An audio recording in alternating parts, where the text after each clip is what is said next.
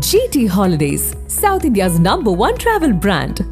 ஆகா கல்யாணம் மார்ச் இருபது முதல் திங்கள் முதல் வெள்ளி வரை இரவு ஏழு மணிக்கு உங்கள் விஜயில். பொன்னம்பலம் உடல் நலம் சரியில்லாம அப்போலோ ஹாஸ்பிட்டல் மருத்துவ பலனின்றி இறந்து போயிட்டார். பத்தாம் தேதி பொன்னம்பலம் செத்துட்டான்.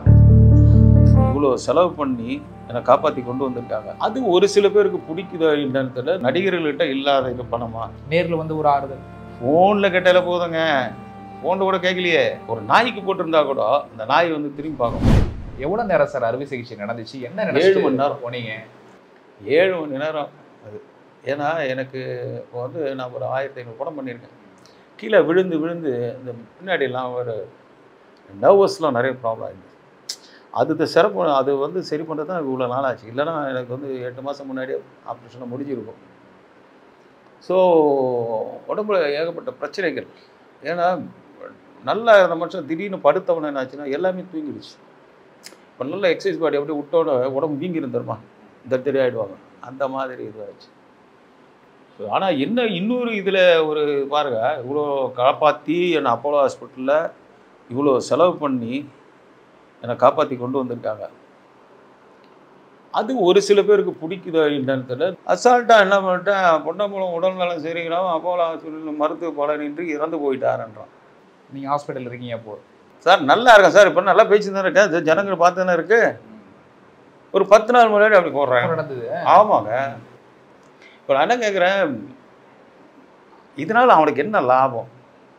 இன்னும் அதிகபட்சம் அந்த இதில் ஒரு ஐம்பதாயிரம் ஒரு லட்சம் கிடைக்குமா? உங்களோட என்ன வழிகளை கடந்து வந்து நீங்க இப்படி நான் நிக்கிற கஷ்டப்பட்டு எத்தனை பேர் எத்தனை டாக்டரை பார்த்து தினமும் காலையில் எழுந்து மத்தியானம் எழுந்து சாயந்தரம் எழுந்து ஹாஸ்பிட்டலில் எத்தனை இன்ஜெக்ஷன் குத்தி நான் என் உயிரை காப்பாற்றி ஜனங்கிட்டலாம் ஆசீர்வாதம் வாங்கி பண்ணுறேன் இவன் பாட்டு ஒரு பொண்ணு பொம்பளை சொல்லுது அவர் மரணம் அடைந்து விட்டார். இ அதை நான் என்ன கேட்குறேன் என்ன ஏன் நல்ல விஷயமா போடுங்க உண்மையை போடுங்க இல்லை காமெடி இருக்குது எவ்வளோ போடலாங்க. இதெல்லாம் அவங்களா திருந்தனா உண்டு. நாங்களாக இப்போ இவ்வளோ பேசுகிறோன்னு சொன்னால் வாழ்க்கையில் எவ்வளோ கடந்து வந்து ஒரு பொசிஷன் நடக்குது நல்லவன் யார் கெட்டவன் யார் தெரிஞ்சுக்கிறதுக்கே எனக்கு இத்தனை வருஷம் ஆயிடுச்சு. ஆனால் சார் எவ்வளோ பெரிய நடிகராக இருந்தாலும் எவ்வளோ பெரிய இடத்துல இருந்தாலும் இது போல் வாழ்வா சாவா அப்படின்னு இருக்கிற நேரத்தில் அன்பை விட பணம் ஜெயிச்சிடுது இல்ல. அது சூழ்நிலைங்க. அதுவும் என்னன்னா பணம் என்பது ஒரு காலகட்டம் வரைக்கும் தான் அது யூஸ் ஆகும். ஆயிரம் பேர் கூட இருக்கும் அப்படின்னு சொன்னா அது ஒரு ஆறுதல் தான் அந்த இல்லைங்க பணம் இருக்குதுங்க. யார் கொடுத்தா? அதான் சொல்றேன்.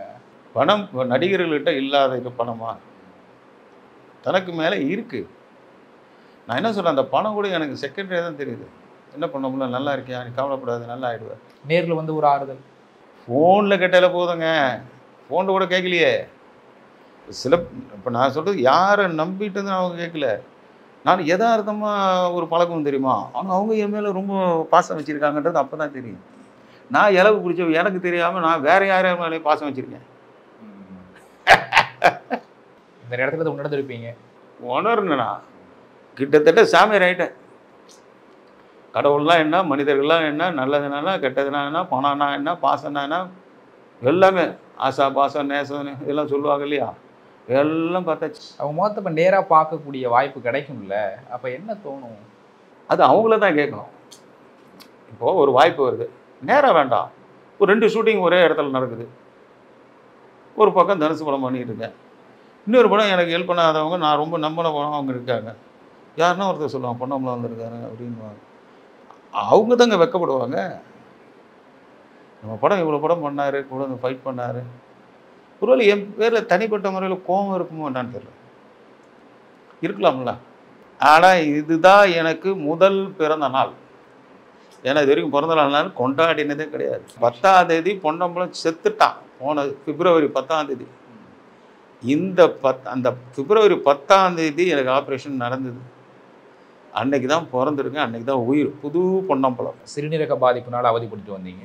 வெற்றிகரமா அறுவை சிகிச்சை முடிஞ்சிருக்குல்ல. இந்த ரெண்டு வருஷத்தை திரும்பி பார்க்கும்போது என்ன உணர்றீங்க? கேவலமாக பார்க்குறேன். வாழ்க்கையை ரொம்ப ரொம்ப கேவலமாக பார்க்குறேன். ஏன்னா பணத்தை சில இடத்துல ஒரு எண்பது பர்சன்ட் எழுபது பர்சன்ட் நல்ல இடத்துல தான் யூஸ் பண்ணியிருக்கேன். ஒன்று என் சொந்த குடும்பம் இன்னொன்று அசலாக இருக்கவங்க நண்பர்கள் இதில் பார்த்தீங்கன்னா ஒரு முப்பது பர்சன்ட் இருபத்தஞ்சி பர்சன்ட் நண்பர்களுக்காக குடி கிடி அது ஜாலியாக இருந்தோம் ஏன்னா எனக்குன்னு இப்போ ராணுவத்தில் போனால் எப்படி செத்து போயிடறாங்களோ என்றைக்கு வரும்னு தெரிய முடியாது. அது மாதிரி ஸ்டண்ட்டில் இருக்கும்போது நான் போகும்போது உயிரோட திரும்புவேனான்னு எனக்கு தெரியாது. அதனால் எங்கள் வீட்டில் எங்கள் அம்மாட்ட என்ன பண்ணுவேன்னா ஒரு லட்ச ரூபா சம்பாரிச்சா தொண்ணூறாயிரரூவா கொடுத்துட்டு பத்தாயிரரூவா நான் எடுத்து போயிடுவேன். அதை எடுத்து போயிட்டு தண்ணி அடிப்பேன் சிகரெட் கொடுப்பேன். என்ன எனக்கு சந்தோஷமாக இருக்கு நேரம் வாங்கி சாப்பிடுவேன். ஃப்ரெண்டுங்களை கொடுப்பேன். ஸோ இதில் இப்படி போயிடுச்சு. இப்போ திரும்பி பார்க்கும்போது இந்த மாதிரி ஆளுக்கெல்லாம் செலவு பண்ணிட்டுமேன்ற ஒரு ஆதங்கம் இப்போ தான் தெரியுது. ஒரு நாய்க்கு போட்டிருந்தா கூட அந்த நாய் வந்து திரும்பி பார்க்கும். இந்த ஒரு நட்புகள் கூடா நட்புகள் சொல்லுவாங்க பாருங்கள் அது ரொம்ப சாவகாசம் ஆயிடுச்சு. அந்த கூடா நட்புகள்லாம் என்னை வந்து பார்க்காம நான் அவசரப்படும் பணம் கொடுக்க வேண்டாம். ஒரு உதவி. நான் பத்து ரூபாய் எழுத்து விடுறது போகிறது எதனா வரும்போது எதனா டீ காப்பி வாங்கி கொடுக்குறது. இது மாதிரிலாம் பண்ணலாம். இந்த கொரோனா சீசனில் எவனுமே வரல. சார் உங்களுக்கு சிறுநீரகம் தானம் செஞ்ச உங்கள் அக்கா மகன் ஜெகநாதன் சார் இருக்கார் அவரை பார்க்கணும். எவ்வளோ பெரிய விஷயம் இது? சிறிய சார் எனக்கு கடவுள் ரூபத்தில் வந்தார். தனுஷு அண்டு இவர் சரத்குமார் இப்படி பல நடிகர்களும் எனக்கு கடவுள் ரூபத்தில் வந்தாங்க. இப்போது நான் எக்ஸ்பெக்ட் பண்ணாதவங்கன்னு சொன்ன பார்த்தீங்களா அந்த வகையில் இவ நம்பர் ஒன்ல ஆகிட்டான் இப்போ. நான் எக்ஸ்பெக்டே பண்ணல. எங்கள் அக்கா பையன் கொடுப்பான்னுட்டு. ஏன்னு சொன்னால் அவன் ஸ்டேஜ் வந்து வேறு ஸ்டேஜில் இருக்கான். பாவம். அம்மா அப்பா இறந்து போய் இதுவாக இருக்கான் இதில் போய் அவன்கிட்ட போய் கிண்டி கட்டு அப்படின்ற மாதிரி. அவனாக முன் வந்து இந்த டைலஸ் பண்ணும்போது மாமா நான் இருக்கேன். ஏன் கவலை போடுறேன் நான் தரேன். அப்படின்னு என்னடா இது? புதுசு புதுசாக எனக்கு கிடைக்குது வாய்ப்பு. இப்படி இல்லாமல் வாய்ப்பு கிடைக்கும். ஆண்டவன் இப்படிலாம் போட்டானே ஸோ நம்ம வந்து திருந்திட்டோம். அதனால தான் வந்து ஆண்டவன் கடைசியில் இந்தா வாழ்க்கையை தெரிஞ்சிட்டல. இனிமேலாச்சும் உருப்படுறான்னு சொல்லிட்டு கடைசியாக எனக்கு ஜெகனை வந்து காசு பணமே கொடுக்க மனசு இல்லாதவங்க மத்தியில கிட்னியை தார அப்படின்னு. ஈக்குவலி கிடையாதுங்க அதெல்லாம். சார்? ஜெகன் வா வா இங்க வா. உட்காரு. இந்த உயிரில் பாதி அப்படின்னு ஒரு படமே எடுக்கலாம். சார். அப்ப பார்க்க வந்தாலும் இல்லையோ உங்களை பார்க்கணும் அப்படிங்கிற ஒரு எக்ஸ்பெக்டேஷன்லேயே இருந்தேன். அது எல்லா நடிகர்களும் எல்லாம் கேட்டாங்க. ஜெகநாதன் எல்லாம் உண்மையிலே பெரிய விஷயம் கொடுக்கறது. அப்படின்னா இந்த மைக்கு மாட்டிக்கப்பா. இந்த உனக்கு முழக்கம் என்ன தோணுதோ சொல்லு. சார் மாமா நம்மளை சின்ன வயசுல பார்த்துக்கிட்டாங்க. சரி அம்மா அப்படிலாம் பார்த்துக்கிட்டாங்க அப்படிங்கிறதெல்லாம் தாண்டி காசு பணம் கேட்டால் கொடுத்துடலாம் சரி அப்படின்னு இருக்கலாம். நம்ம சிறுநீரகம் நம்மளும் வாழணும் அப்படின்லாம் அந்த நேரத்துல வந்து ஒரு சுயமா யோசிப்போம்ல. அதெல்லாம் தாண்டி எப்படி கொடுக்கணும்னு மனசு வந்துச்சு. எல்லாருடைய வாழ்க்கையே வந்து கொஞ்ச காலம்தான். இப்போ அப்படின்ற மாதிரி ஒரு சூழல். சரி இதில் வந்து நம்ம என்ன நினச்சி நம்ம வந்து வாழ்க்கையில் பயணம் பண்ணுறோம் அப்படிங்கிற ஒரு விஷயம் மீறி நம்ம சில விஷயங்களுக்காக போ போராடுறோம் எல்லாம் பண்ணுறோம் சரி யா இந்த உடம்பு நம்மளது கிடையாது. இந்த உள்ளமும் நம்மளது கிடையாது. மனசும் நம்மளது கிடையாது. இறந்த பிறகு என்ன நடக்கும்ன்றது யாருக்கும் தெரியாது. சரி இருக்கும்போது இன்னொருத்தரை சந்தோஷப்படுத்தி பார்க்குறதுல அது ஒரு மிகப்பெரிய சந்தோஷம் அந்த சந்தோஷம் வந்து சொன்னால் புரியாது. அதை அனுபவிச்சா தான் அது தெரியும். படா இல்லை இல்லை. ஃபீல் பண்ண வேண்டாம். இருங்க. இப்படி எமோஷனல் ஆகக்கூடாது. சார். சிறுநீரகம் மாற்றம் ஏற்படுறதால இந்த எஸ் எஸ் எஸ் கடவுள்லாம் அந்த அளவுக்குலாம் நான் பெரிய ஆள் இல்லை. இதனால் சொல்கிறேன் என்னென்னா எனக்கு இவருடைய சூழ்நிலை எனக்கு ஃபுல்லாகவே தெரியும். இவர் கூடவே நான் இருந்ததுனால நிறைய நேரங்களில் நான் அவர் கூட இருந்திருக்கேன். ஸோ இவர் படுற அந்த கஷ்டம் வேலை மல்லி வலி வேதனை அப்படின்றத விட இவர் கூட இப்போ இவர் கூட நான் டயாலிசிஸ்க்கு போவேன். அங்கே போகும்போது இவரை மாதிரி பக்கத்தில் பெட்லலாம் படுத்திருப்பாங்க. அவங்கள்ட்டலாம் நான் போய் பேசுவேன். பேசும்போது அவங்க சொல்லுவாங்க இது மிகப்பெரிய நரகம் சார். இந்த உல- இந்த உலகத்தில் என்ன மாதிரி ஒரு இந்த மாதிரி ஒரு விஷயம் மட்டும் யாருக்கும் வரக்கூடாதுன்னு பல பேர் சொல்லுவாங்க. அது சொல்லும்போது அவங்களோட உணர்வு பூர்வமாக அது கேட்கும்போது நமக்கு ரொம்ப கஷ்டமாக இருக்கும். அப்போ இது வந்து நமக்கு நடந்தால் எப்படி இருந்திருக்கும்? அந்த ஒரு உணர்வில் தான் சரி எவ்வளவோ விஷயங்கள் தாண்டி நம்ம போகிறோம் எல்லாம் கடக்கிறோம். இருக்கும்போது நம்ம என்ன செய்கிறோம் அப்படிங்கிறது பல பேருக்கும் தெரியாது. அது முன்னாடி நடந்த விஷயத்த பின்னாடி யோசித்தோம்னா அதுக்கு வந்து விடையே கிடைக்காது. ஆனால் ஒரு அந்த ஒரு தருவையில் போகும்போது பார்த்திங்கன்னா பழசெல்லாம் நினச்சி பார்த்தா கண்ணீர் மட்டும்தான் மிச்சமாக இருக்கும். கூட எந்த ஒரு உறவுகளும் இருக்காது. கண்ணீர் மட்டும்தான் நமக்கு சொந்தமாக இருக்கும். அந்த கண்ணீரை வந்து எப்படின்னா நம்ம ஆரம்பத்துலேருந்தே அந்த கண்ணீர் வந்து படிப்படியாக அந்தந்த இடத்துல நம்ம அந்த கண்ணீரை சிந்திருந்தோம்னா கடைசி நேரத்தில் அந்த கண்ணீர் கூட மிச்சமாகாது. இதுதான் விஷயம். பட்டு இவரை பார்க்கும்போது எனக்கு உள்ளுக்குள்ளே என்ன தோணும் அப்படின்னா இந்த இடத்துல ரெண்டு ஊசி குத்துவாங்க. அந்த ஊசியினுடைய சைஸ் வந்து பார்த்திங்கன்னா ஒரு இன்ச்சு ஆணி மாதிரி இருக்கும் அது. சைஸே. ரெண்டு ஊசி குத்துவாங்க. இந்த மாதிரி கிட்டத்தட்ட ஒரு மூணு வருஷமாக குத்துறாங்க. குறைஞ்சது ஒரு முந்நூறு அல்லது நானூறு தடவை குத்திருப்பாங்க. நமக்கு எனக்கு சாதாரண இந்த மெலிசு ஊசி போட்டாலே பயம். டாக்டரே. ஆயிரத்தி ஐநூறு வாட்டி. ஆயிரத்தி ஐநூறு வாட்டி. பாருங்க. அப்போ அதை விட பெரிய நரகம் என்ன இருக்குது அப் ஒரு இவர் நடித்த படத்துலேயே ஒரு வசனம் ஒன்று வரும். அப்பப்போ ஊசி அப்பப்போ வலின்னு ஒரு ஒரு வசனம் வரும். இவர் சொல்லுவார். ரகுவரன் சார் சொல்லுவார். இப்ப சந்தோஷமா இருக்கீங்களா? மாமா? ரொம்ப ஹாப்பியாக இருக்கேன். என்னன்னா ஒரு பெரிய ஒரு இதுல இருந்து மீண்டு வந்த மாதிரி இப்போ இந்த இந்தியா பாகிஸ்தான் கார்கில் போர் மாதிரி இது ஒரு போர். வாழ்க்கையில் நடக்கிறது வாழ்க்கையை பாருங்க. வாழ்க்கையை வாழ்றதுக்கு இப்படி ஒரு மிகப்பெரிய போர். அந்த தாய் மாமா பாசம் இருக்குல்ல ஆ. அது இன்னைக்கும் நிறைய இடத்துல பார்க்கலாம். அவ்வளோ ஒரு அதுக்கு ஒரு வார்த்தையே இல்லை. அந்த அளவுக்கு இருக்கும். நீங்க தானம் கொடுத்ததுக்கு அப்புறம் சார் இது மாதிரி ஆப்ரேஷன் தியேட்டர்ல சக்ஸஸாக பண்ணி முடிச்சுட்டு வெளியில வந்து அந்த பார்த்த ஃபர்ஸ்ட் மூமெண்ட் இருக்குல்ல ஆமாம் அவ என்ன உணர்ந்தீங்க? என்ன தோணுச்சு? ரெண்டு பேருக்கு ஐசியூ பக்கத்து பக்கத்து ரூபு தான். ஏன்னா அது ஒரு எமோஷனலான மூமெண்ட் அழக்கூடாது. ஆமா. முக்கியமா ரெண்டு பேருக்கு இன்ஸ்ட்ரக்ஷன் அதான் அது சொல்லியிருப்பாங்க ஆமாம் இல்ல அதாவது அந்த நேரத்துல எப்படின்னா இவன் மனம் தளரல. இவன் என்னோட சாமியார் ஆயிட்டான் பட் நான் மூன்று வருஷமா அந்த கொடுமைகள் அனுபவிச்சுட்டு இருக்கேன். இவன் வந்து டப்புனு ஒரு நிமிஷத்துல இருக்க அதை எல்லாம் கிளியர் பண்ணிட்டான். வீடை ரெண்டரை வருஷமா அழுக்கா பார்த்துக்கிட்டு இருக்கோம். திடீர்னு ஒரு நாள் வந்தா எல்லா குப்பையெல்லாம் அள்ளி போட்டு வா வீடு கிளீன் வச்சுவா அப்படின்ற மாதிரி டப்புன்னு ஒரு மதுரவாதி மாதிரி வந்து கடவுள் திடீர்னு அனுப்பி இதை சொல்லுவார் அப்படின்ட்டு. உங்களுக்கு அப்ப இன்னொரு பலம் வந்திருக்கும். ஏன்னா அவர் கொடுத்தாரு அவர் வச்சு நடப்பாரா போவாரோ கொஞ்சம் பலமீனம் அடைஞ்சிருப்பாரோ அப்படின்னு சொல்ற நேரத்துல வந்தா கொடுத்தா முடிச்சு எல்லாம் முடிச்சுட்டு வா வா, அப்படின்ட்டு எங்க வீட்ல எல்லாம் எக்ஸ்பெக்டே பண்ணல.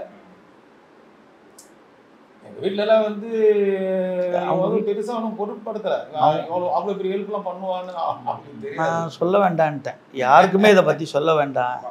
ஏன்னா ஒரு முன்னாடி சொன்ன சில தடுங்க சில- பண்ணுவாங்க அதனால யாருக்கிட்டுமே அவங்க வீட்டில் கூட சொல்ல வேண்டான்ட்டேன். அவங்களுக்கே பெரிய அதிர்ச்சி தான். திடீர்னு ஆப்ரேஷன் தேட்டரில் வந்து அவங்களுக்கே தெரியாது. அன்னைக்கு வந்து பார்த்துட்டு சீக்கிரட்டா பண்ணுவாங்க. ரெண்டு பேரும் ரெண்டு பேரும் பேசிக்கிட்டு மாமா இது ஏற்கனவே ரெண்டு வாட்டி மிஸ் ஆயிடுச்சு. மூணாவது நான். இதில் வந்து தவறே நடக்கக்கூடாது. நான் வேண்டுற கடவுள் சரி ராமன் சுவாமி ரொம்ப அவர் முடிவெடுத்தனா பின்வாங்க மாட்டார். நீ பின்வாங்காத. யாருமே சொல்லாத. சொல்லி சொல்லி ஏதாவது அது தப்பாக போகுது. ஏற்கனவே ஒருத்தரை சொல்லி அதுக்கப்புறம் எல்லாரும் போல உதவி பண்ணி ஃபெயிலியர் ஆயிடுச்சு. இன்னொன்று ஃபெயிலியர் ஆயிடுச்சு. அப்போ இதே பொழப்ப ஆலையரண்டா பண்ணணுன்ற மாதிரி ஆகிடுச்சு ஏன்னா என் கண்டிஷன் எனக்கு தான் தெரியும். ஃபஸ்ட்டு செலவே ஒரு கிட்டத்தட்ட அஞ்சு ஆறு லட்சம் வேஸ்ட்டாக போச்சு.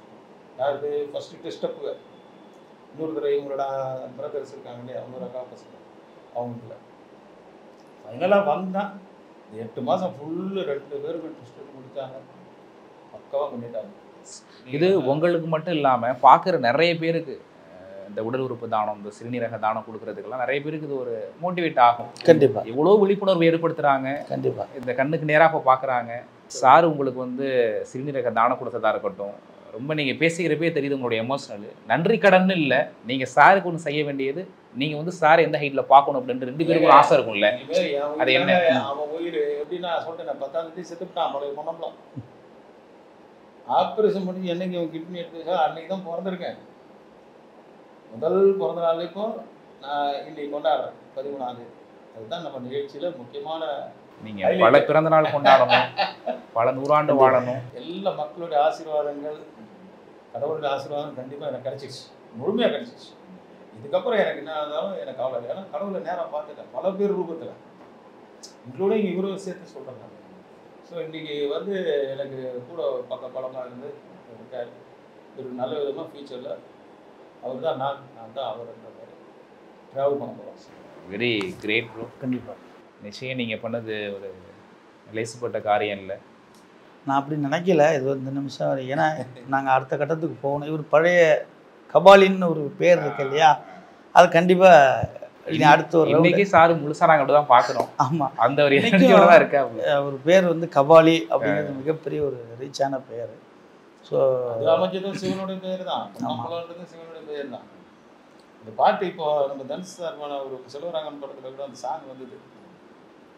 இந்த பாட்டை நான் அப்பப்போ கேட்பேன். என்னப்ப நல்லவா? என் தாயும் அல்லவா தாய் நல்லவா பொன்னப்ப நல்லவா? பொன்னம்பலம் ஆனால் பொன்னம்பலன்றது நிறைய பேர் தெரிய மாட்டேங்குது இந்த சாங் வந்ததுலேருந்து ஓ பொன்னம்பலன்றது ஒரு சிவனுடைய பெயரா?